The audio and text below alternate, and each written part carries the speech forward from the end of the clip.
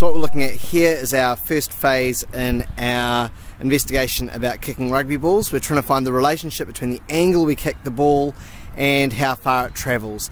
Today is just having a wee experiment, a wee play with it to see um, what information we might be able to record and also to see if there's any variables that we might need to control. Um, we're going to be going inside after we've had about 15 minutes playing with the balls and kicking and different tees and different kicking styles to see what variables we need to control when we turn this into an investigation or a fair test. So what we've been looking at or having we play with out on the fields is kicking rugby balls. And what our question is that we're going to look at for all of next week is if, is there a relationship between the angle we kick it at and how far it travels its distance? Alright, so we're going to change one thing on purpose and that is what? What are we going to change on purpose? The angle distance. The angle, okay? So we're going to change the angle on purpose. So we've got to think about how we're going to do that. How could we change the angle on purpose? Move the uh, ball in the tee, like have it either straight up or you can have it back or Okay, so you're talking about the angle the ball is at? yeah. Okay. What we're going to look at, rather than the angle of the ball, is we're going to look at the angle that it leaves the tee at. Oh, so Okay. maybe where you put your foot into the ball. So different points. Good. Okay. So it's, it's quite a hard one to do, isn't it? To actually change on purpose. My suggestion is that we go closer and further away from the goalposts. So it makes us automatically have to change our angle. We'll naturally do it to try to get it to go further. Mm-hmm. Yeah? So if we were to aim for the crossbar every time, or just above the crossbar every time, then that would actually change the angle, wouldn't it? If we move closer and further away. Mm-hmm. Yep. So we're going to move closer, further away from the posts. Now we're going to need to have to be able to record the angle. How are we going to be able to record it every time? That's it happens in a moment. So how are we going to be able to find this angle? Hint is what you saw me doing out there. What could we do while people are kicking? Film. Video it. Okay, so we're going to have to film it.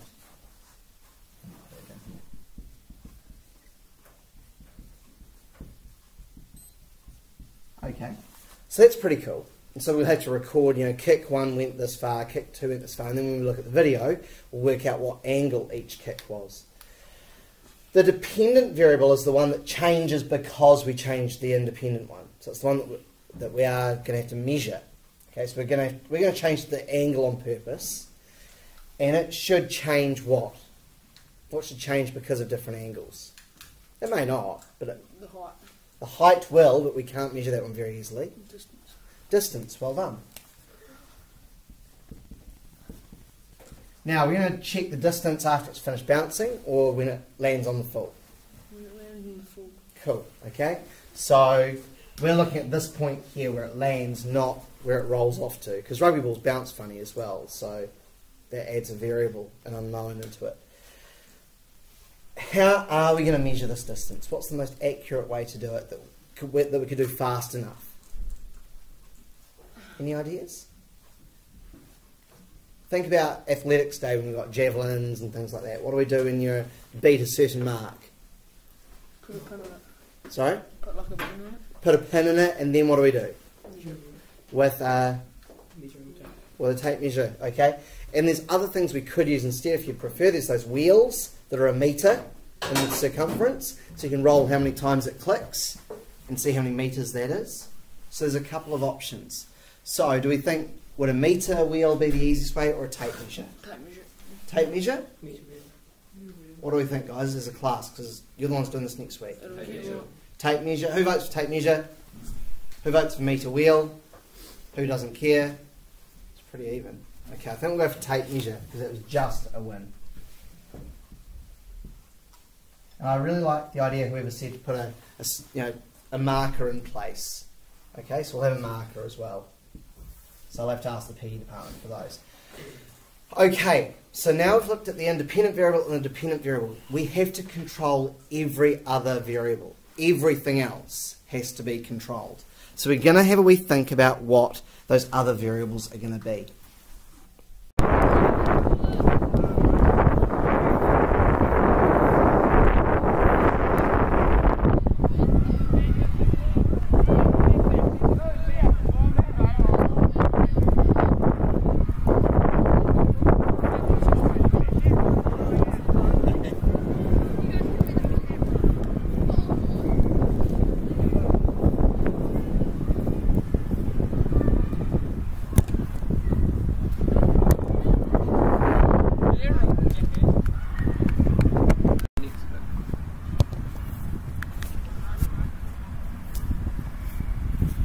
down doing meters cut.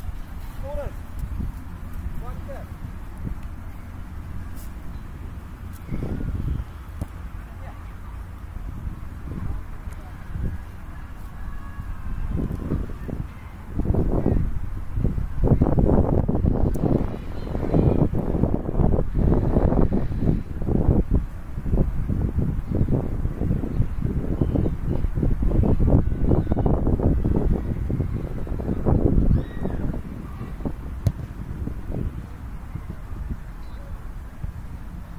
So as you can see from all the kicks we did outside, there were lots. There was lots of variety in how far people could kick it and how accurate they were and all that sort of thing. What were some of those variables that were actually controlling it? Remember, we've already decided that we're going to change the angle on purpose. So whether we kick it up very steep or kick it very shallow or somewhere in between, um, that angle's already we've decided to change it on purpose. What we're looking at is other variables that might control how far it travels. Um, how the ball is leaning on the tee. Okay, so the angle of the ball on the tee. Yep.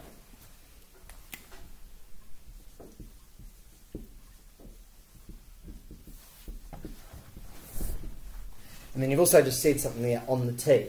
So, would the type of tee have any effect? Height of tee. Yep. So the type of tee, and Height of the tee. The height of it. And the fact that we're, we're doing place kicks, not drop kicks or punts or anything like that as well, eh? So the type of kick. Okay. What else have we got that's important? What did you observe out there um, with? I'll put this another way. How many people are kicking out there?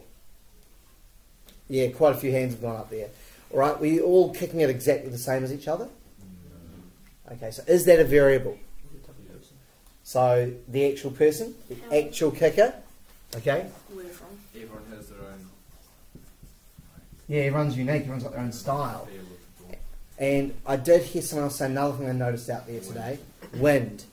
Into the wind, with the wind, crosswind. You've got to decide: is the wind going to be a tailwind or a headwind or a crosswind? You've got to decide. So wind direction. Well done. I'll put a question mark there. 'cause It's a still day. You don't have to worry about it. But it does mean the direction you're kicking in. So the same posts every time, for example, because it'll be the same direction. Anything else that I haven't got up there? Okay, we've said the kicker is important because you might have different. You might some might be stronger than others. What about the amount of effort? Did you all kick it as hard as you possibly could? Not always, eh? I saw some who were going for accuracy.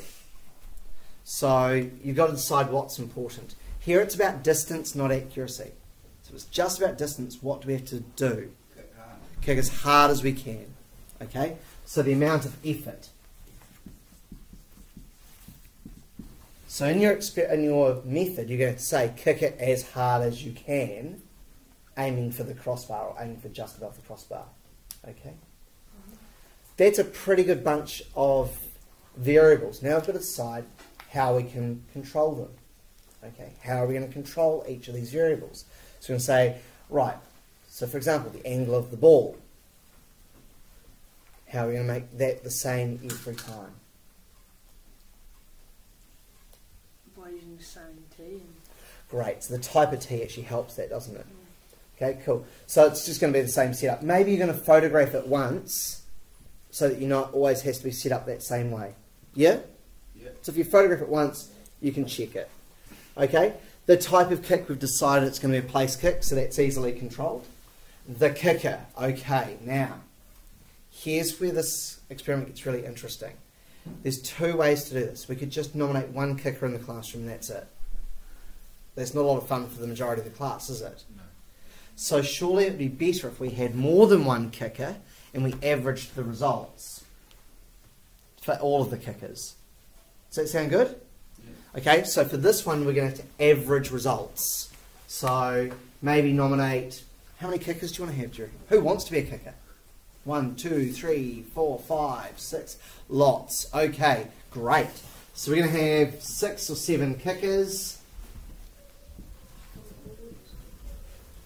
and then we're going to average the results. So that's a mathematical skill that we really want you to have, is averaging. So it'll really help you with hopefully getting some credits for this. Okay, the wind. What do we think is going to be necessary? What do we think is going to be most valid? Headwind, tailwind, or crosswind? Do you want to go with the tailwind? Yeah. Okay. So if there is a wind, we'll make it a tailwind. All agreed? Yeah. Okay, if there is a wind, it's a tailwind. So we'll always go for it being a tailwind if there is a wind. And we'll have to record that there was a wind. Okay?